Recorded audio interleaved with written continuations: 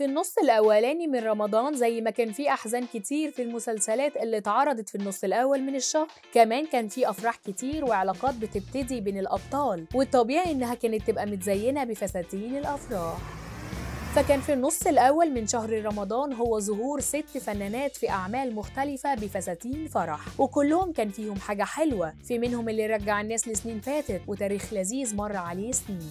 كان أول فستان فرح ظهر في رمضان السنة دي كان فستان راقين سعد اللي ظهرت بيه في واحد من الإعلانات ل compound اللي اتعرضت من أول الشهر وكانت ترند الأيام كتيرة. وطبعا ده لما ظهرت وهي بتتجوز عصام عمر. بعد ما الإعلان ورانا كل تفاصيل كل قصة الحب. من أول يوم بدأت فيه لحد ما وصلنا للفرح. وطبعا ده كان على صوت الهضبة عمرو دياب وطبعا ال couple ده علق مع الناس جدا. بس بقى الفستان فكان simple جدا ورقيق ولايق قوي على رقين. وكمان الطرحة بتاعته مع المجوهرات اللي كانت لابساها كانت حاجة آخر رقة وده اللي كان عاجب الناس في الفستان. أما بقى تاني فستان فده صورته لفت مواقع التواصل الاجتماعي كلها بسبب صورة الفرح اللي اتشهرت قوي علشان تبين العريس اللي أمه مسيطرة عليه. مش عارف يخرج من تحكماتها وده كان في مسلسل أشغال شقة. اللي كانت صورة فرح فرح هشام ماجد وأسماء جلال فيه عجيبة جدا. وهي إن العريس اللي هو طبعا هشام ماجد قاعد جنب والدته شيرين في الكوشة والعروسة أسماء جلال هي اللي واقفة جنب الكوشة كأنها واحدة من المعازيم. بس الفستان بقى رغم الموقف المحرج قوي ده إلا إنه كان رقيق قوي ولايق كمان على أسماء. فكان فستان بحماله عريضه وطرحته طويلة قوي ومنفوش وعليه تل ورد منقوش بيه. وطبعا كانت صور الفرح دي كلها تكشير وباين فيها زعل أسماء جدا بسبب المشاهد اللي الدور حكم عليها في المسلسل.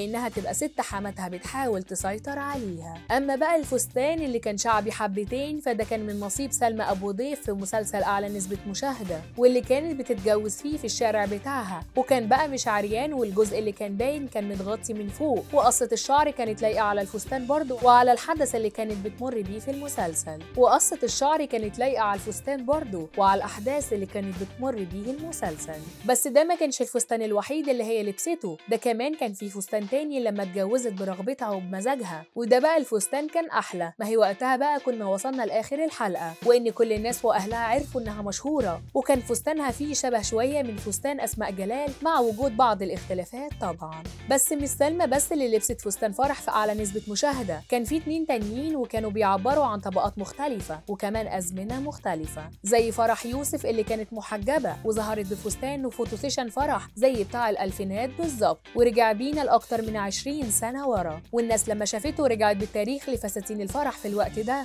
أما الفستان الأجرأ على الإطلاق في كل الفساتين الأفراح في النص الأولاني من رمضان فكان من نصيب هند عبد الحليم. وده كان آخر فستان في أعلى نسبة مشاهدة. وده بقى كان حاجة في قمة الشياكة وعريان حبتين. ما هي كانت blogger مشهورة بقى ومن طبقة اجتماعية high class ويا دوب يعني تظهر بفستان بالشكل ده. كان باين من عند البطن شوية. ده غير إنه cup ومجسم على الآخر. أما بقى ناهد السباعي فلبست فستان فرح في مسلسل محارب وهي بتتجوز فيه حسن الرداد وده بقى كان فستان متغطي من ساسه لراسه وكمان كان لايق عليها. ده برضه غير فستان آية سماحة اللي لبسته في إعلان واحد من ال compounds وكان من غير طرحة واللي كان بيتميز إن شكله شيك جدا وكمان فخم. وشبه شخصية آية سماحة والفساتين والإطلالات اللي بتظهر بيها في العادي. قولوا لنا بقى إيه رأيكم وإيه أكتر فستان عجبك في كل دول؟